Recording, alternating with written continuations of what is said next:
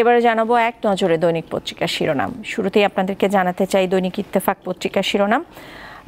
এখানে ফিলিস্তিনিরা যে মারা যাচ্ছে। সেই বিষয়টি অনেক বেশি জোরালোভাবে প্রতিবেদন করা হয়েছে যে ফিলিস্তিনিরা মরছেই, আভাস নেই সমঝোতার। এছাড়া আছে বিএনপির কথা ও কাজে সবাই ধ্বংসাত্মক প্রধানমন্ত্রী বলেছেন। আপনারা জানেন যে গতকাল দেড়শো সেতু উদ্বোধন করেছেন এবং সেখানে তিনি এই বক্তব্য দিয়েছেন। এছাড়াও ফিলিস্তিনেতে যে প্রাণহানি ঘটছে সেটির জন্য আগামীকাল বাংলাদেশের রাষ্ট্রীয় শোক ঘোষণা করা হবে। সেই বিষয়টিও দৈনিক ইত্তেফাক পত্রিকায় এসেছে। এবার আপনাদেরকে জানাতে চাই দৈনিক যুগান্তর পত্রিকার শিরোনামগুলো। দ্বাদশ জাতীয় সংসদ নির্বাচন ঘিরে একটি প্রতিবেদন করা হয়েছে, নজর দু দলের শেষ বার্তায়। অনর অবস্থানে থাকলেও শেষ দেখছেন না বিশ্লেষকরা, এমন একটি প্রতিবেদন, বিশেষ একটি প্রতিবেদন করা হয়েছে। আর এছাড়াও তফসিলের আগেই উত্তপ্ত রাজপথ, এরকম একটি প্রতিবেদনও এসেছে। এছাড়াও আছে যে বিশ্ব দেখে যাও নিহতরা সবাই নিষ্পাপ শিশু। আপনারা জানেন যে গাজায় যে সহিংসতা চলছে, সেই বিষয়ে এখানে প্রতিবেদন করা হয়েছে।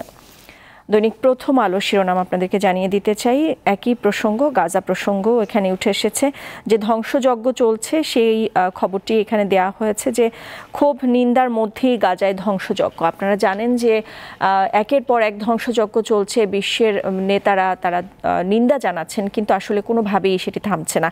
এই খবরগুলোই এখানে উঠে এসেছে। এছাড়াও একটি বিশেষ প্রতিবেদন রয়েছে দ্বাদশ সংসদ নির্বাচন নিয়ে, যে পরিবেশ নিয়ে অসন্তুষ্টি ভোটের প্রস্তুতিতে ইসি। এত অসন্তুষ্টির মধ্যেও ইসি প্রস্তুতি নিচ্ছে এবং আরেকটি খবর আপনাদেরকে জানিয়ে দিতে চাই যে ইইউ কিন্তু প্রতিনিধি দল পাঠাবে সেই খবরটিও কিন্তু এখানে দেওয়া হয়েছে। এছাড়াও প্রধানমন্ত্রী উনচল্লিশ জেলায় দেড়শো সেতু উদ্বোধন করেছেন, এটিও প্রথম আলো শিরোনামে নিয়ে এসেছে। এবার আমার হাতে আছে দৈনিক কালের কণ্ঠ পত্রিকা যেখানে একটি বিশেষ প্রতিবেদন আছে যে রাজধানীতে অপরাধ নয় মাসে দুশো পনেরো ছিনতাই আর রাতের নিরাপত্তা নাজুক হয়ে গেছে। সে বিষয়টি এই প্রতিবেদনে আছে। এছাড়াও গাজা প্রসঙ্গ তো থাকছেই এবং প্রধানমন্ত্রী প্রসঙ্গও আছে। এখানে তিনি বিএনপিকে হুঁশিয়ারি দিয়ে বলেছেন যে, অগ্নি সন্ত্রাস করলে যে ব্যবস্থা দরকার তাই নেওয়া হবে।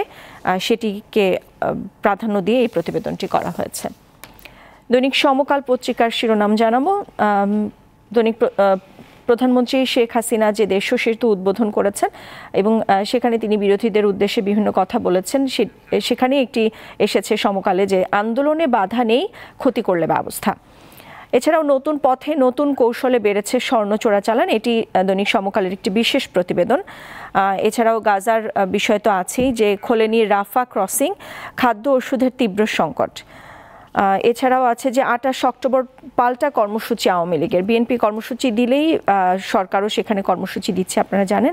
সেই বিষয়টি এই প্রতিবেদনে উঠে এসেছে। এছাড়াও আছে নির্বাচনের প্রত্যাশিত অনুকূল পরিবেশ এখনও হয়ে ওঠেনি। এটি আসলে একটি বিশেষ প্রতিবেদন দৈনিক সমকালের। এবার আপনাদেরকে জানিয়ে দিতে চাই দৈনিক কালবেলা পত্রিকার শিরোনাম। যেখানে একটি বিশেষ প্রতিবেদন করা হয়েছে যে চার্জশিটের সাতাত্তর ভাগ আসামি খালাস। এটি বিচার বিভাগ নিয়ে একটি বিশেষ প্রতিবেদন। এছাড়া আছে যে ইসি মনে করে ভোটের প্রত্যাশিত পরিবেশ হয়নি। এটিও তাদের একটি বিশেষ প্রতিবেদন। এছাড়াও প্রধানমন্ত্রীর যে দেশ সেতু উদ্বোধন আছে, সেই খবরটিও কালবেলা প্রাধান্য দিয়েছে। আমার হাতে আছে দৈনিক বণিক বার্তা। এখানেও আসলে একটি আছে যে রিভিউ রিভিউ মিশন শেষে আইএমএফের বিবৃতি উল্লেখযোগ্য সংস্কার সত্ত্বেও চ্যালেঞ্জ রয়ে গেছে। আইএমএফের যে লোনের বিষয়টি আছে, সেখা, এই প্রতিবেদনে সেটি আছে এবং রিজার্ভ নেমেছে বিশ মিলিয়ন ডলারে দর্শক, এই ছিল আমার হাতে দৈনিক পত্রিকার শিরোনামগুলো।